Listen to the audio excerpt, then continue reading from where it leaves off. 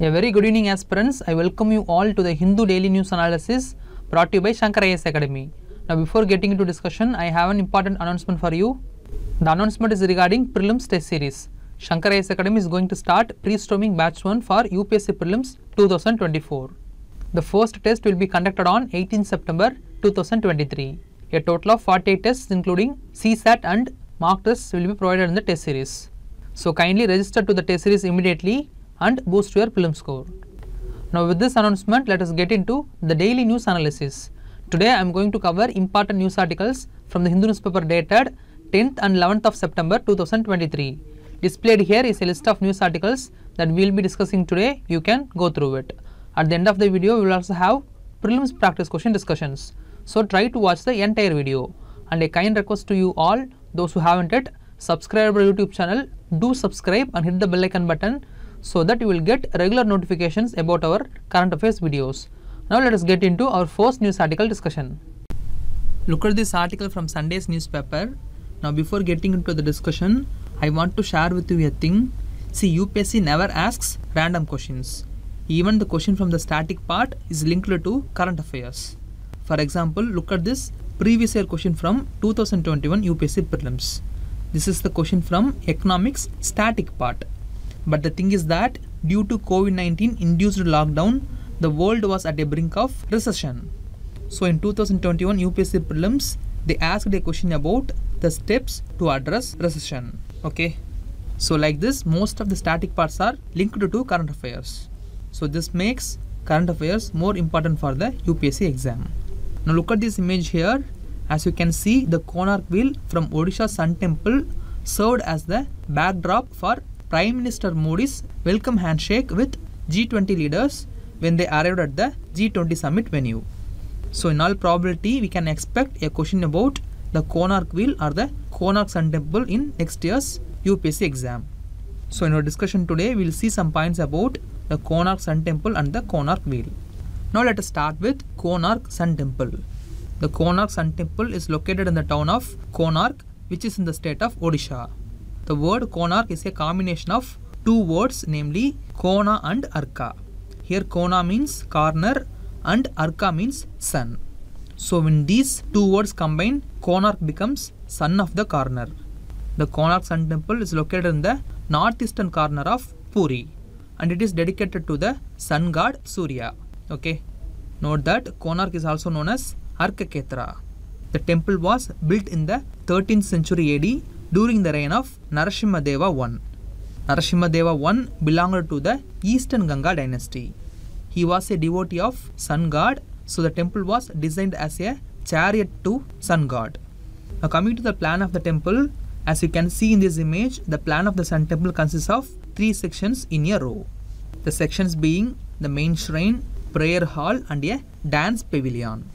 The main shrine is connected to an entrance and prayer hall and the dance pavilion is a separate structure. As like many temples of northern India, the entire Konark Sun temple is raised off the ground on a plinth to emphasize its holiness. And note that the Konark Sun temple is a UNESCO World Heritage Site. Okay, these are all some of the points about Konark Sun temple. Now let us see a few points about Konark wheel. See the major attraction in the Sun temple of Konark is the Konark wheel. As I already mentioned, the entire temple is designed as a huge chariot. The temple has 12 pairs of wheels, that is 24 wheels, and they are being pulled by 7 horses. The 12 pairs of wheels are similar in size and shape. Okay. See, each wheel has 8 larger spokes and 8 thinner spokes. And there are various interpretations about the wheels. Some believe that 7 horse represents 7 days of the week. Then 12 pairs of wheels represents 12 months of the year. And the 24 wheels represents 24 hours of the days. And there are others who believe that the 12 pairs of wheels represent 12 zodiac signs. Now coming to the wheel, as you can see in this image, the thicker spokes are all curved with circular medallions at their centers on the widest part of the face. The medallions in the spokes are carved with the figures of women in various luxury poses, mostly of sensual nature. So this is one of the important features of Konark wheel. And the another important feature is that two of the 24 wheels can be used as a sundial. Here a sundial is a timekeeping device that uses the position of sun's shadow to indicate the time of the day. As you can see in this image, the Konark wheel has 8 wider spokes and 8 thinner spokes. The distance between two wider spokes is 3 hours, that is 180 minutes. Then the distance between a wider spoke and a thin spoke represents 1.5 hours. And there are 30 beats between one wider spoke to the next thinner spoke. And each beat represents 3 minutes. See this sundial shows time in an anti-clockwise direction. And the top center wider spoke represents 12 o'clock midnight. When you place your finger at the center of the axle, the place when the shadow of the finger falls represents the time of the day. Okay, this is how the Konark wheel can be used to assess time. Also know that the newly introduced 10 rupees note has the Konark wheel in its backside. Okay, these are all some of the important points about Konark wheel. And that's all regarding this discussion. This discussion is about the Konark Sun Temple and Konark wheel. See, this topic is very very important for your prelims exam. So revise all the facts that we discussed. Now with these points in mind, let us move on to the next news article discussion. Look at this news article. Last Friday, a 6.8 magnitude earthquake had struck the Marrakesh, which is a city in Morocco. And yesterday, a 4.8 magnitude aftershock earthquake has also registered in Marrakesh. See, nearly 2,100 people have lost their lives due to earthquake. Apart from this, the earthquake also flattened some villages around the Marrakesh city. And currently, the rescuing operations is going on in Marrakesh city. This is all about the news. Now in this discussion, let us learn some points about earthquake. See in simple words, an earthquake is shaking of the earth. The earthquake is a natural event which is caused due to release of energy. Now where the energy is released from and why does there shakes? See the release of energy occurs along a fault. Here a fault is nothing but a sharp break in the crustal rocks. When there occurs a break in the crustal rocks, the rocks along a fault tend to move in opposite directions. However, the tendency of rocks to move apart overcomes the friction at some point of time. As a result of friction, the rock blocks get deformed. This eventually causes the rocks to slide past one another abruptly. And this slide past event causes a release of energy. Okay. The released energy waves travel in all directions which causes the earth to shake. So the abrupt slide past event is what causing the earth to shake. Okay. Hope you understand how earthquake occurs. Now coming to the event of earthquake, see the point where the energy is released is called focus of an earthquake and it is also called as hypocenter. The released energy waves traveling in different directions and they finally reach the surface. The point on the surface that is nearest to the focus is called epicenter. See epicenter is the first place to experience energy waves and it is a point which is directly above the focus. Okay, this is all about earthquake. Now talking about the types of earthquake waves, see the earthquake waves are basically of two types. They are body waves and surface waves. Now let us see them one by one. Now first let us take body waves. See the body waves are generated due to the release of energy at the focus and they tend to move in all directions. Know that the body waves travel throughout the body of the earth. The body waves interact with surface rocks and it generates a new set of waves called surface waves. Okay. Note that there are two types of body waves. They are called P and S waves. Now let us see them one by one. Now firstly let us take P waves. See the P waves move faster and they are the first to arrive at the surface. These waves are also called as primary waves. Note that the P waves are similar to sound waves. So they travel through gaseous, liquid and solid medium. Okay. Now coming to S waves, see the S waves arrive at the surface with some time lag. These waves are also called as secondary waves. An important fact about S waves is that they can travel only through solid materials. Okay. Note that the S wave only helped the scientists to understand the structure of the interior of Earth. Okay. This is all about the body waves. Now coming to the another type of earthquake waves, that is the surface waves. See surface waves move along the surface of the earth. Here the velocity of surface waves changes as they travel through different materials with different densities. The denser the material, the higher is the velocity. Okay. Note that the surface waves are more destructive they cause displacement of rocks and the collapse of structures like buildings and houses. Okay. Now finally let us see how earthquake is measured. See the earthquake events are measured using two scales. They are magnitude scale and intensity scale. Now first let us see about magnitude scale. See the magnitude scale is also known as Richter scale. Here the magnitude is related to the energy released during earthquake. In the Richter scale, the magnitude is expressed in absolute numbers that is from 0 to 10. Now coming to intensity scale, this scale is also known as Mercalli scale. Here the intensity scale takes into account the visible damages caused by the earthquake. Know that the range of intensity scale is from 1 to 12. Okay, and that's all regarding this discussion. This discussion is about the causes of earthquake, then about the types of earthquake waves, and finally we saw some points about the measurement of earthquake. See, this topic is very much important for your prelims. So make note of each and every points that we discussed. Now with these points in mind, let us move on to the next news article discussion. Look at this news article from Sunday's newspaper. Last Saturday, India launched the Global Biofuels Alliance on the backdrop of G20 summit. Our Prime Minister urged the G20 nations to join the initiative. The news article also states that our Prime Minister proposed launching the G20 satellite. This satellite will focus on environment and climate observation. And this is all about the news article given here. Now in this discussion, let us see a few points about Global Biofuels Alliance. The Global Biofuel Alliance is an initiative by India as the G20 chair. The initiating members of the alliance include Argentina, Bangladesh, Brazil, India, Italy, Mauritius, South Africa, the United Arab Emirates, and the United States. Note that the alliance contains the members from both G20 and non G20 countries. Also, note that Canada and Singapore are admitted as observer countries of the Global Biofuel Alliance. Okay, now coming to the objective of the alliance, the main objective of this alliance is to increase adoption of biofuels globally.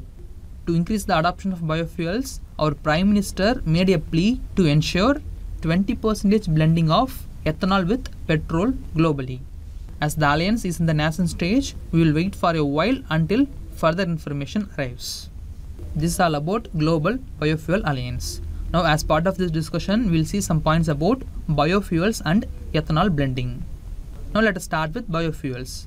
See currently the world mostly runs on fossil fuels namely crude oil, natural gas and coal. These fossil fuels are produced from organic matter through a very slow natural processes. For example, let us take crude oil. See, crude oil is formed when organic matter is subjected to a large amount of pressure and temperature due to significant accumulation of sediment above the organic matter. See, 70% of oil deposits existing today were formed from organic deposits that accumulated in the Mesozoic age, that is 252 to 66 million years ago. So, fossil fuels are produced from organic matter through very slow natural processes. See, the fossil fuel releases more carbon into the atmosphere, which in turn cause air pollution. Now, coming to the biofuel, unlike fossil fuels, biofuels are produced over a short span of time from organic matter and it is very less polluting than fossil fuels. See both fossil fuels and biofuels are obtained from organic matter but the difference lies in the production process and associated pollution. Okay. Some of the examples of biofuels include bioethanol, biodiesel and biogas. Okay, this is all about biofuel. Now coming to ethanol blending, see in India we have the ethanol blended petrol program which is in line with National Policy on Biofuels 2018. Under ethanol blended petrol program, the Indian government has two blending targets. The first one is 10% of blending of ethanol with petrol by the year 2022 and the second target is 20% blending by 2025 okay? These are all the objectives that the Indian government aims to achieve under ethanol blended petrol program. Now what are the advantages of ethanol blending? The first advantage is reducing greenhouse gas emission. As ethanol is a cleaner fuel blending ethanol with petrol will help reduce carbon emission. So this will aid in India's aim of becoming carbon neutral by 2070. Then the second advantage is energy security. By promoting the use of domestically produced ethanol, India can reduce its dependence on imported crude oil. This helps India to conserve its forex reserve. In addition to this, reducing dependence on imported crude oil reduces countries' exposure to volatile global oil prices. This will help in establishing macroeconomic stability. Then the third advantage is boost to the agricultural sector. See, bioethanol is produced mainly from crops like sugarcane and corn. So, ethanol blending supports the agricultural sector by creating a market for crops like sugarcane and corn. This in turn generates income for farmers and contributes to rural development. And finally, ethanol blending increases engine performance of the vehicles. See, ethanol can enhance the octane rating of petrol. Here, octane rating means higher performance mainly in vehicles with E20 compliant engines. So, ethanol blending increases engine performance. So, these are all some of the advantages of ethanol blending. And that's all regarding this discussion. In this discussion, we saw some points about Global Biofuel Alliance and then we saw some points about biofuel and ethanol blending. Now, with these points in mind, let us move on to the next news article discussion. Look at this FAQ page article from yesterday's newspaper. See, recently a report titled Pathways to Circular Economy in Indian Electronic Sector was released by Indian Cellular and Electronics Association. This report provides some data about circular economy in India. So in this backdrop only, this article here is written. This article speaks about the importance of circular economy in Indian electronic sector and the challenges associated with circular economy in India. So in our discussion today, we will understand all these points in detail. Now first let us understand the term circular economy. Circular economy refers to the sustainable economic model that focuses on reusing and recycling of existing materials rather than using new materials. For example, let us take a company that manufactures plastic bottles for soft drinks. See, people usually buy these drinks and they throw away the bottles after consuming the drinks. This is what happens in linear economy. But in a circular economy, the plastic bottles are not discarded as a waste. The used bottles are collected, recycled, and turned into new products. So, this will reduce the need for new plastic production and minimizes environmental impact. So, the circular economy saves resources, reduces waste, and promotes sustainability. Ultimately, circular economy reduces damage to environment and it creates additional revenue in the economy. For example, China had used 5% of recycled materials to make new products in 2019. And China is also planning to increase this to 35% by 2030. Okay. I hope you understood about circular economy. Now coming to the e-waste management in India, see recently there was a huge increase in e-waste generation in India. This is due to the availability of cheaper smartphones and increased usage of smartphones because of affordable data plans. See, in India, most of the electronic waste management is not done through formal channels. Instead, it is handled informally, which is a major issue. The report by Indian Cellular and Electronics Association says that around 90% of e-waste collection and 70% of recycling are managed by informal sector in India. So the report highlights the need for expanding formal sector in e-waste collection and recycling. Also note that there were many specialized hubs developed in India for e-waste management. Some places like Moradabad have become hubs for e-waste processing. Here large quantities of printed circuit boards from electronic devices are processed to extract valuable materials like gold and silver. So in order to regulate the e-waste management and bring it into formal sector, government introduced e-waste management rules in 2022. This rule aims to make e-waste management process a more digital and transparent. Okay, this is all about the status of e-waste management in India. Now with this information, we shall see the various steps to improve e-waste recycling in India. The first important step is public-private partnerships. See, the author of the article suggests that both the government and private companies need to work together for e-waste management. They should share the costs for creating a reverse supply chain. Here the reverse supply chain involves collecting used devices, wiping them of personal data and sending them for recycling. Okay. Then the second important step to improve e-waste recycling process in India is creation of record keeping system. It means creating a digital database to track all the materials collected by the recyclers. This will enhance the efficiency of waste management. Then the third important step is creating high yield recycling centers for waste collection. See, these are the areas where the collected devices are brought together and recycled. These recycling centers should become more efficient in extracting valuable materials like rare metals from semiconductors.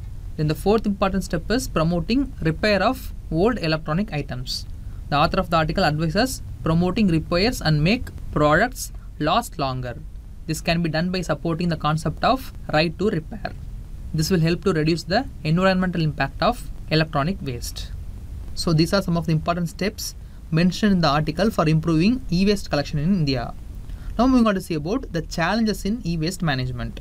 The first important challenge is prevalence of informal sector in India. As we saw earlier, there is large informal sector engaged in e-waste recycling and it is very hard to regulate them. This is because they do not follow the environmental rules and it is a major concern. So prevalence of informal sector in e-waste recycling is the first important challenge. The second challenge is accumulation of huge unused devices. Around 200 million electronic devices are estimated to be present unused in people's homes. This is because people are worried about their personal data if they recycle these devices. So data concern is also another challenge associated in e-waste management. Then the third challenge regarding recycling plants. See, creating a large scale recycling plants is costly and there is a shortage of materials to run these plants for consistent operations. Apart from this, the availability of materials needed for recycling is scattered and it is not easy to find. Even big companies interested in recycling are struggling to get enough materials for recycle process. So the shortage of materials is also another problem associated with managing e-waste in India. See the author concludes by saying that a circular economy for e-waste is attractive because it can provide a stable supply of electronic components. However, the recycling of e-waste is expensive and it poses a big challenge to recycling of e-waste in India. See, there are various startups and companies in India that have now started to collect and recycle electronic waste. What we need is we need better implementation methodologies and inclusion policies to meet our recycling targets in an environmentally sustainable manner. And that's all regarding this discussion. In this discussion, we saw about what is circular economy, then about the importance of circular economy, then we saw about the status of circular economy in India and the challenges associated with circular economy. Now with these points in mind, let us move on to the next news article discussion. Look at this FAQ page article from Sunday's newspaper. As you all know, recently the 2023 G20 summit was held at New Delhi on September 9th and 10th. The summit was concluded with various outcomes. So in our discussion today, we will understand some basics about G20 and then we will understand the outcomes of recent G20 summit. Now before getting into discussion, the syllabus regarding this discussion is highlighted here. You can go through it. Now first let us go through the basics of G20. See the G20 or Group of 20 is an intergovernmental forum comprising 19 countries and European Union. It is composed of most of world's largest economies including both industrialized and developing nations. The G20 accounts for around 90% of gross world product, 75 to 80 percent of international trade, two thirds of global population, and roughly half of the world's land area. The G20 was founded in 1999 in response to several world economic crises. Initially, it worked as a forum for the central bank governors and finance ministers to discuss global economic and financial stability. And after the 2008 global financial crisis, it was upgraded to the level of heads of state or government. Since then, the G20 leaders have met on a regular basis with summits involving each member state of government or state. So this is how the G20 has emerged as a leading platform for global economic cooperation. See the members of G20 countries are displayed here. You can go through it. Here you can see that India is also a member of G20 grouping. In fact, India is a founding member of G20. Okay. Now talking about the G20 presidency, see the presidency of G20 rotates every year amongst its members. And a unique thing about the G20 president is that the country that holds the presidency works together with its predecessor and successor. This grouping inside G20 grouping is called Troika. The G20 has such an arrangement to ensure the continuity of the agenda. Currently, Brazil, Indonesia, and India are the Troika countries. See, on November 16, 2022, the Indonesian president Joko Widodo officially handed over the G20 president to India at the end of 2022 G20 summit. And India officially assumed the G20 presidency on 1st December 2022. Now, coming to India's presidency, see the G20 slogan of India's presidency is Vasudhaiva Kutumbakam, which is translated as one planet, one family, one future. Okay, these are some of the basics about G20. Now moving on to see about the outcomes of recently held G20 summit. The first important outcome is the African Union joined the G20 organization and it became a full-time member. See the African Union is a continental body comprising of 55 African member states. See African Union has long been a guest invitee to the G20 meeting along with other significant international organizations like World Bank, Monetary Fund and so on. So African Union was formerly known as an invited international organization at the G20. Currently with full membership of G20, African Union will have the same status as the European Union. See adding African Union to the grouping has huge implications. This is because African continent has 60% of world's renewable energy assets and more than 30% of key minerals to renewable and low carbon technologies. See Congo alone has almost half of the world's cobalt which is essential for lithium ion batteries productions. So adding African Union to the G20 grouping has both economical and geopolitical significance. Okay, this is the first outcome. Then the second outcome is that India, Middle East, Europe, USA corridor has been proposed and passed by the leaders of these countries. See the India, Middle East, Europe economic corridor is a mega project to unlock the economic potential of the region. It comprises of an eastern corridor connecting India to the Gulf region and a northern corridor connecting the Gulf region to the Europe. Okay, this corridor will include a railway and ship rail transit network and road transport routes. In simple words, the agreement will connect India through ports, shipping routes and rail corridors to countries in the Middle East and then Eastern and Western Europe. Okay, this project is a very significant one because it is also seen as a countering measure to China's Belt and Road Initiative. Okay, this is the second outcome. Thirdly, the G20 countries agreed on incremental progress on climate change.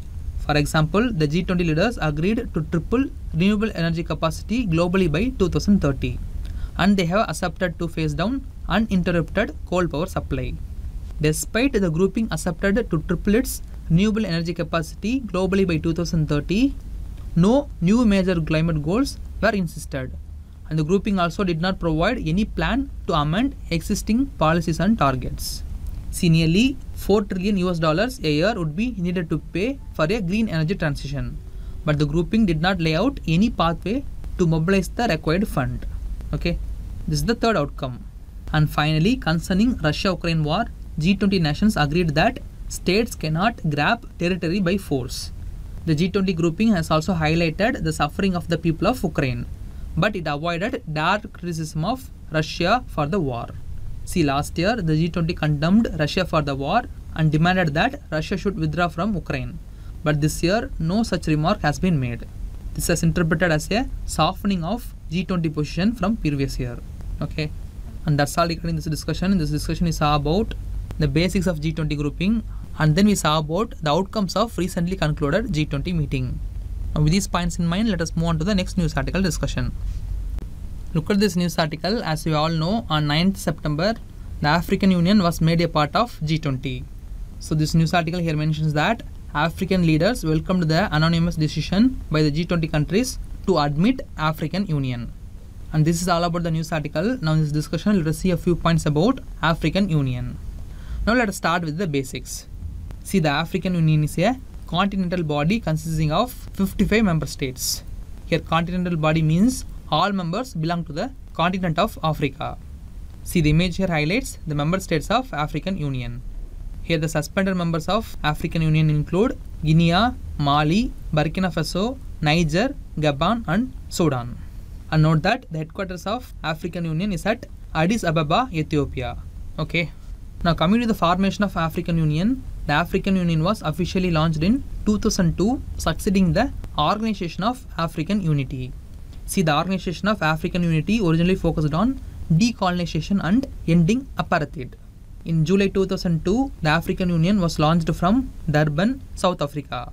Upon launch, the AU shifted its focus towards cooperation and integration among African states. See, through cooperation and integration, the African Union aims to achieve economic development among its member states. Okay, now having covered the basics, now let us see some points about organizational structure of African Union. See, the African Union has key decision-making organs including the Assembly of Heads of State and Government, the Executive Council, the Permanent Representatives Committee, Specialized Technical Committees, the Peace and Security Council and the African Union Commission. See, the African Union encourages participation of African citizens and civil society through the Pan African Parliament and the Economic, Social and Cultural Council.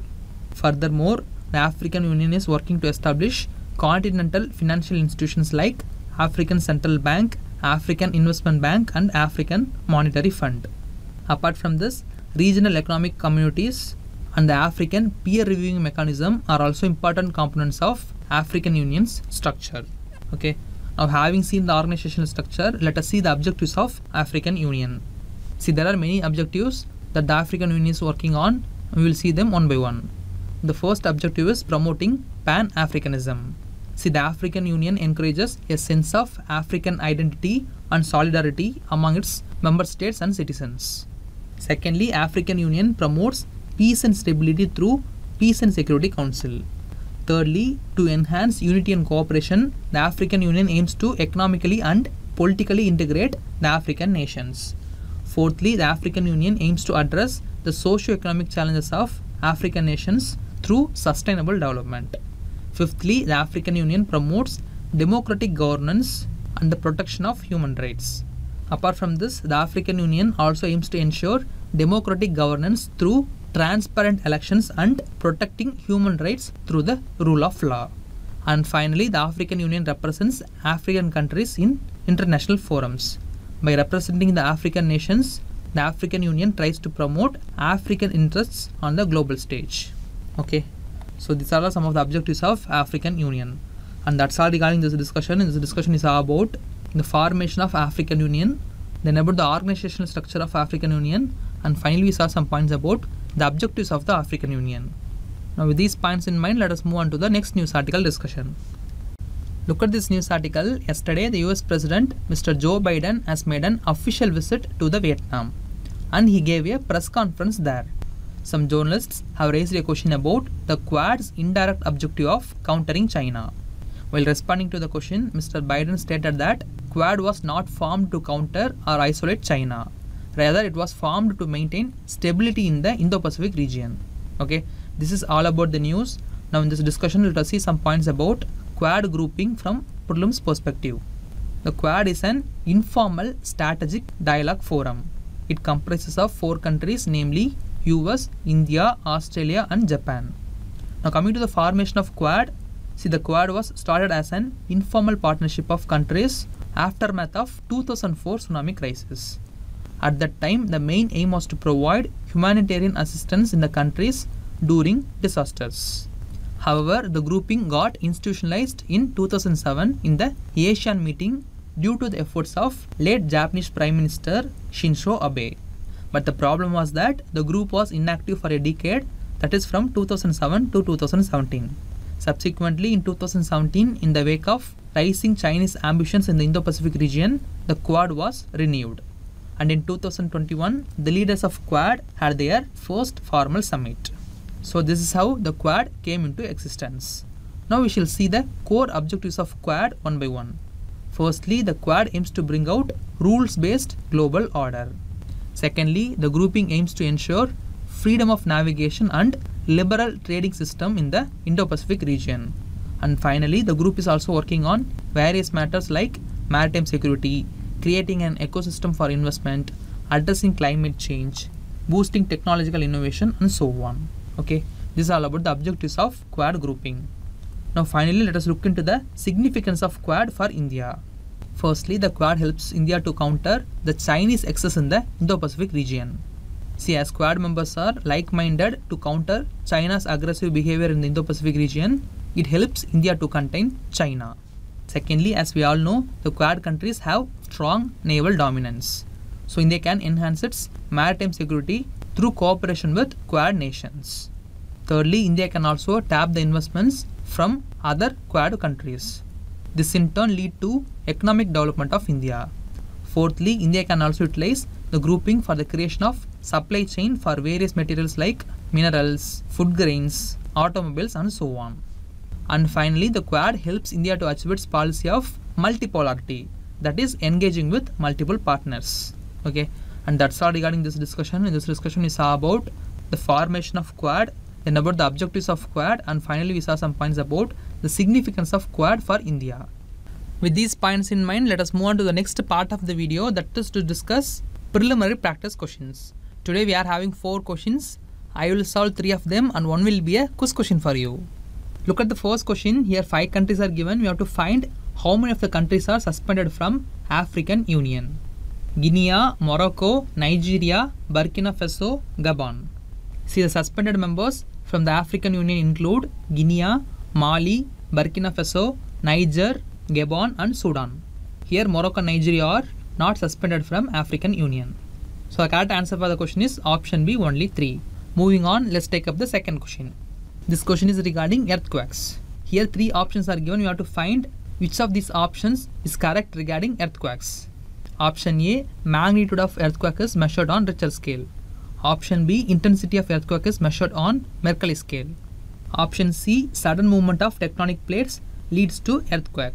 Option D, all of the above. As we saw in the discussion, the magnitude of earthquake is measured in Richter scale and the intensity is measured on Mercalli scale. And we saw that the sudden movement of rocks or tectonic plates leads to earthquake. So here all the three options are correct. So the correct answer for the question is option D, all of the above. Moving on, let's take up the final question. This question was asked in 2017 UPSC prelims. I'll read out the question. It is possible to produce algae-based biofuels, but what is or are the likely limitations of developing countries in promoting this industry? Option A, production of algae-based biofuels is possible in seas only and not on continents. See, this statement is incorrect because production of algae-based biofuels is possible on both land or saline water or wastewater.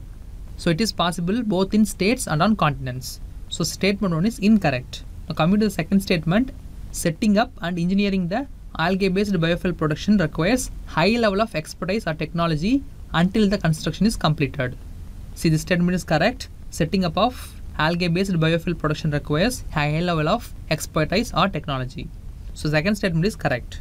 Now coming to the third statement, economically viable production necessitates the setting up of a large-scale facilities which may raise ecological and social concerns. See this statement is correct because economically viable production necessitates the setting up of large-scale facilities which may raise ecological and social concerns as it will reduce the amount of food available for humans. So third statement is correct. Here the correct answer for the question is option B 2 and 3 only. This is a quiz question for you today. I will post this quiz question in the community section. Try to answer it. And displayed here are mains questions for our practice. Go through the questions, write your answers and post it in the comment section. With this, we have come to the end of the video. If you found our video to be useful, do like, comment and share it with your friends. And don't forget to subscribe Shankar IAS Academy YouTube channel. Thank you for listening.